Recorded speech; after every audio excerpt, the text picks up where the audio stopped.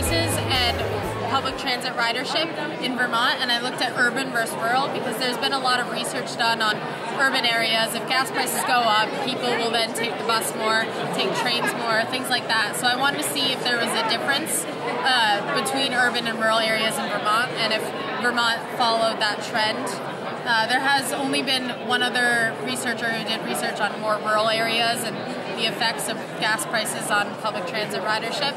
So, um, uh, as I expected, I found that Chittenden County, so the green is gas prices and the pink is ridership. Uh, ridership followed gas prices. Um, when gas prices went up, ridership would go up. And I also lagged the gas price data, so when uh, so when I lagged the data by three months, uh, it was a more significant correlation than just immediately.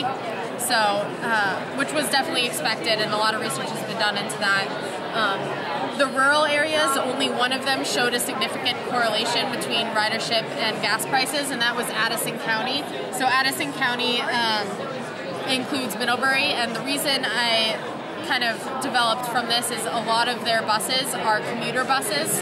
When so many, and it's so easy for people to really choose uh, public transit for their commute to work uh, versus other trips.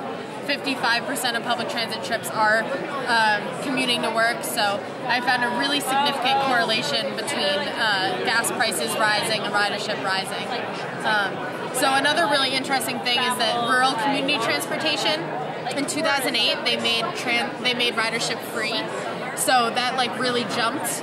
Um, as you can see, so kind of my overall goal of this was to come up with a policy recommendation.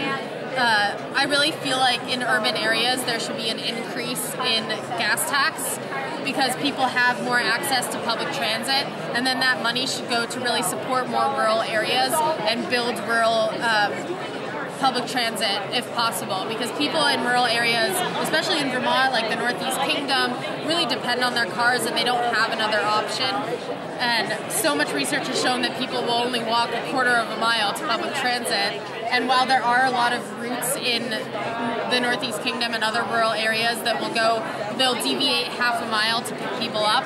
They're not going to deviate miles away, and people live really far away from each other and far from town centers. And it's really, it really would be beneficial for Vermont and other states that have similar makeups to really increase the gas tax in urban areas and use that money to support more low income areas and rural areas where people have less access to that.